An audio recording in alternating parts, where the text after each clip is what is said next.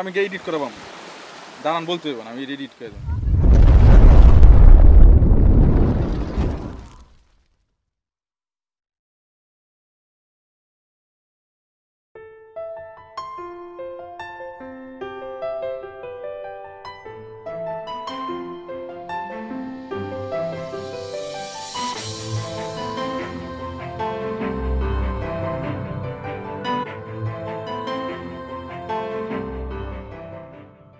Guys অবশেষে আমরা চন্দ্রনাথ জয় করে খুব রিল্যাক্স মুডে খাওয়া দাওয়া সেরে আমরা এখন গুলিয়াখালির উদ্দেশ্যে যাচ্ছি।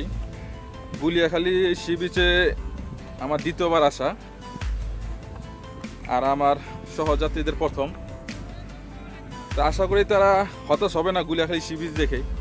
কারণ প্রথমবার এসে প্রথমবার এসে আমি এতটাই মুগ্ধ হয়েছিলাম যে দ্বিতীয়বার আমাকে বাধ্য হলো এখানে আসতে।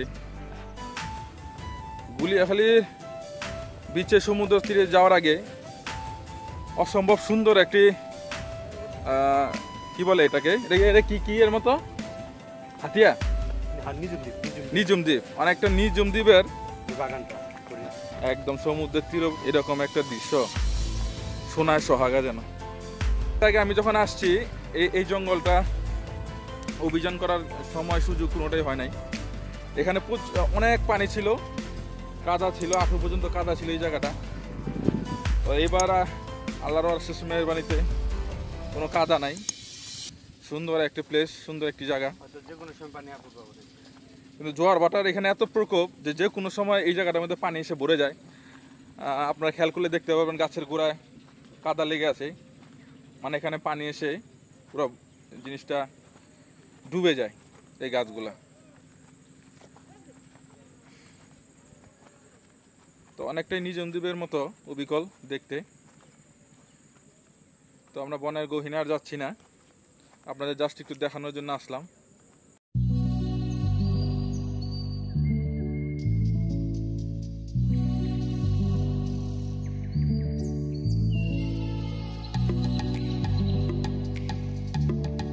এখন প্রায় শ দুইটা বাজে। এই পুরো বিকেলটা শ দুইটা থেকে একদম সন্ধ্যার আগ পর্যন্ত আমাদের নিয়ত আছে যে এই গুলিয়াখালী সি বিচে আমরা সময় পাস করব। টাইম স্পেন্ড করব, একদম রিল্যাক্স চন্দনার যেরকম রিল্যাক্স একটা সময় কাটাইছি ওখানে যে এখানেও ঠিক তেমনটা একটা রিল্যাক্স ট্যুর দেব।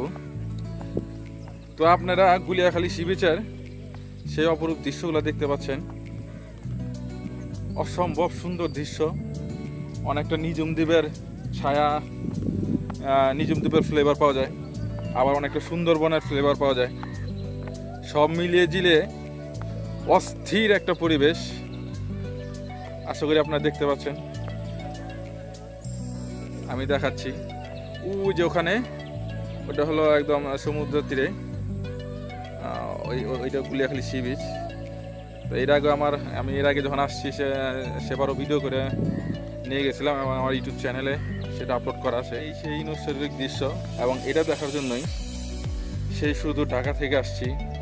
আর এই জিনিসটার জন্যই গুলিয়াখালী সি বিচটাকে আমি অন্য অন্য সি বিচের থেকে অনেকটা গুলিয়াখালী সি বিচের সেই নৈসর্গিক দৃশ্য, যেন কার্পেটে মুড়ানো সবুজ গালিচায় মুড়ানো সেই পুরো জায়গাটা জুড়ে।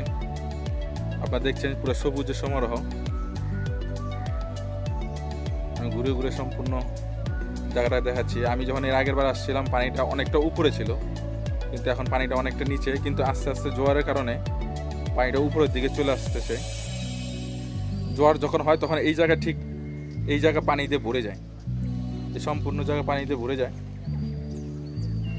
জোয়ার বে- আহ, ঠিক বিকাবেলা এখনই জোয়ার শুরু হয়েছে।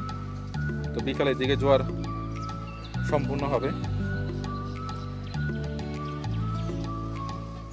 এত সুন্দর সমুদ্রে একটা বিচ হতে পারে। সেটা আমার এখানে না আসলে জানা হতো না। আরেকটা আরেকটা জিনিস দেখাচ্ছি, এটি হলো গাছের শ্বাসমূল, শিকড়।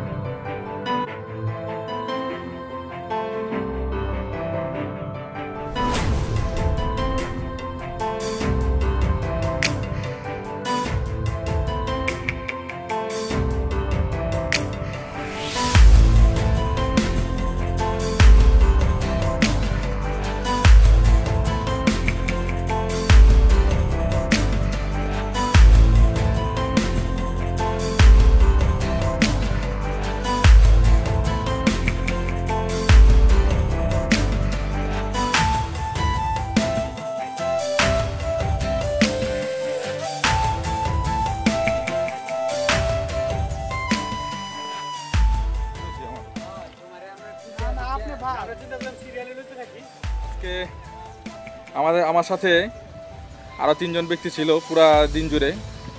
তাদের একজন একজন সাথে পরিচিত হই আর তাদের কেমন লাগল সারা দিনটা আজকে? তাদের মুখ থেকে শুনি।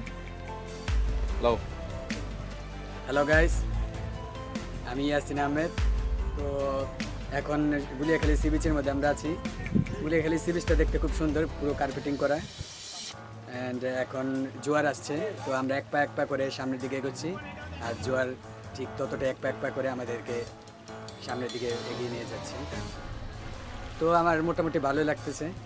এটা আমার সেকেন্ড টাইম আসা। তো আপনারা আসবেন, এসে এনজয় করবেন। ভালো একটা জায়গা, ঘোরার মতো, দেখার মতো। হাই বন্ধুরা, আমি শহীদুল ইসলাম। আমরা আজকে ঘুরতে আসছি। তো প্রথমে পাহাড়ে গেলাম। পাহাড়টা যদি অনেক কষ্টের, কিন্তু জার্নিটা খুব মধুর ছিল। ওই কষ্টের জার্নি শেষ করে যখন নাকি বিচে আসলাম, আসলে বিচে আসার পরে প্রথম যখন নাকি ঢুকলাম দুইকে দেখলাম নিজুম দ্বীপের একটা প্রাকৃতিক দৃশ্য। যে নিজুম দ্বীপে যে গাছগুলো ছিল সেম গাছগুলো। তো এখানে এসে নিজুম দ্বীপের একটা ছোঁয়া পেলাম। তারপর আর একটু ডান দিকে তাকালে দেখা যায় কিছু বড় বড় গাছ সমুদ্রের মাঝখানে। তো ওইটা আসলে সুন্দরবনের একটা দৃশ্য। আর বীজ তো আপনারা দেখতে আছেন। খুব অসাধারণ চমৎকার একটা জায়গা। ঘুরতে আসতে পারেন। আমি এডিট করাবাম দাঁড়ান বলতে হবে না আমি এডিট করে দেবো আমি অভিজিৎ সরকার আমি চন্দনের ফার্স্ট টাইম আসছি। তো চন্দন আমি ঘোরার পর খুবই ভালো লাগল। আর এই জায়গাটা খুবই অসাধারণ যেটা হয়তো ভাষায় প্রকাশ করার মতো না। তো আপনারা চাইলে সকলে আসতে পারেন।